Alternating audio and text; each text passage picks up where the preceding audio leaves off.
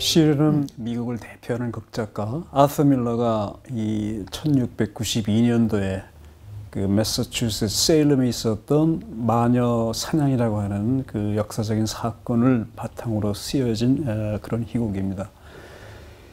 토지욕 또는 뭐 여러 가지 욕정 이런 것 때문에 그 적을 마녀로 고발하면서 사람들을 이렇게 처형시켰던 그런 아주 악명 높은 그런 역사적 사건인데 이제 프락타라고 하는 농부가 그런 위증을 거부함으로써 스스로 죽음의 형정으로 끌려가면서 어, 승리의 죽음을 구가하는 전형적인 비극이라고 할 수 있습니다. 국립극단의 2015년 기획의 주제가 해방과 구속입니다. 우리가 이제 해방 70주년을 맞아가지고 이런 그 해방을 자축하면서 또 우리를 새롭게 구속하고 있는 구속을 경계하자 이런 의미로 이제 주제를 기획한 것인데 이 시연이라고 하는 작품은 그 사람이 죽음의 공포 때문에 진실을 외면하고 살아남는 그런 경우가 있지만은 이 어려운 공포를 이제 무릅쓰고 진실을 지키면서 자기 이름의 존엄성과 명예를 지켜나간 그런 사람들의 얘기입니다.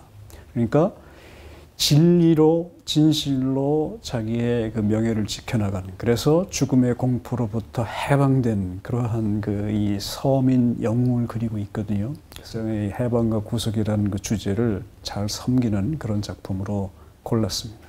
이 원제 The Crucible이라고 하는 원어 자체가 도관이라는 뜻도 있고 이제 그것의 그이 어, 문학적인 어, 정신적 의미는 시련이라는 뜻도 아울러 갖고 있습니다.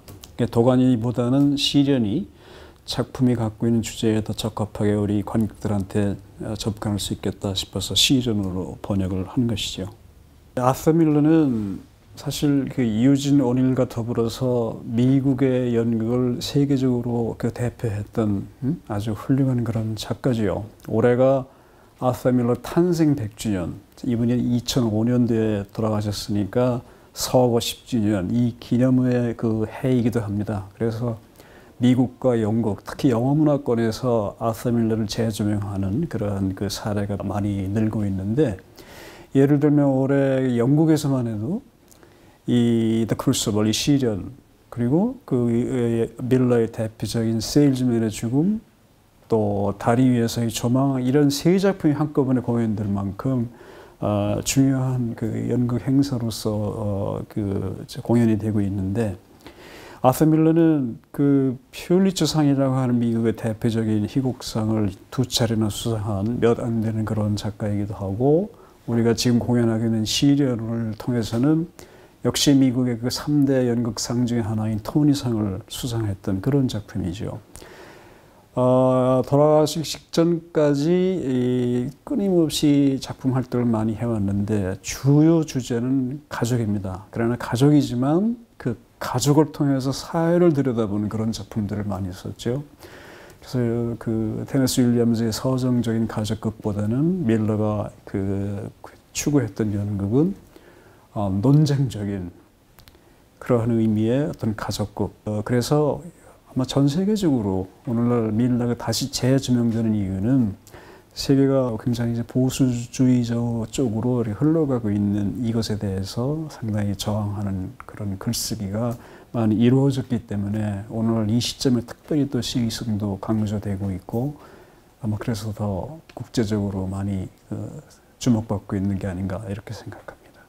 이번 우리 국립극단이 제작하는 이 시련은 이제 그 연출자 박정희 선생이 작품의 지휘를 맡았고 또 대표적으로 이제 이순재 선생이 이제 그 악역, 그 댄퍼스 판사 역할을 맡으면서 어, 이러한 캐스팅의 연출의 그 특성상 그 작품의 주제에 대단히 충실한 그러한 연극이 될 것으로 저는 그 알고 있고 어 그러나 그 작품에 충실하되 이 작품이 갖고 있는 현재적 의미, 그 시의성이라고 하는 것 이런 것들을 이 박정희 연출이 늘 중요시하는 그런 그 연출가이기 때문에 우리 시대 미국의 얘기가 아니라 바로 우리 한국의 얘기로 이 작품을 이렇게 그 해석해서 어, 한국 관객한테 충분히 공감이 되고 어, 스스로를 이렇게 자상할 수 있게 되돌아볼 수 있게 만들어주는 그러한 형태로 해석이 되면서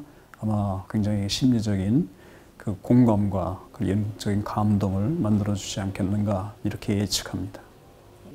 이 마녀 사냥이라는 게 기본적으로 기독교적인 어떤 그 역사이고 그래서 우리 작품을 가만히 보면 두 가지 성경적 주제가 떠오릅니다. 하나는 어, 진리를 통해서 자유를 얻은 그러한 즉 진리가 너희를 자유케 하리라 이러한 말씀에 기초한 그런 인물들 한 그룹이 있고 또 다른 한편에는 이제 부정적인 경고 메시지로 욕심이 죄를 낳고 죄가 사망을 낳는다 하는 이 메시지 맞게끔 욕심 때문에 죄를 저지르는 그래서 많은 사람들을 죽음으로 모으는 그러한 세력 이 두 세력 간의 싸움이에요. 어, 근데 이, 이, 이 작품은 밀러가 그 소위 현대적인 그 이 비극을 만드는데 대단히 그 중점을 뒀던 그런 작품입니다. 현대는 영웅이 없는 시대에 따라서 비극도 없는 시대 이렇게 얘기되고 있지만은 이 프락터라고 하는 그 평범한 농민이 자기의 이름의 존엄성을 지키기 위해서 목숨을 내걸면서 죽어가면서까지 이, 그러니까 자기의 정체성을 주장하고 확인하는 그런 얘기입니다.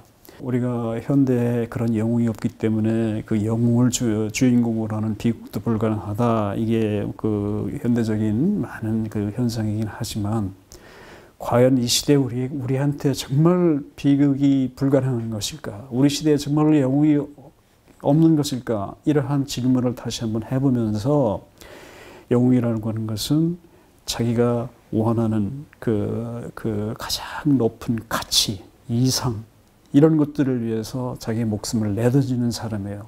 그러니까 이 시대야말로 제가 보기에는 그런 영웅을 필요로 하는 그런 시대입니다, 다시.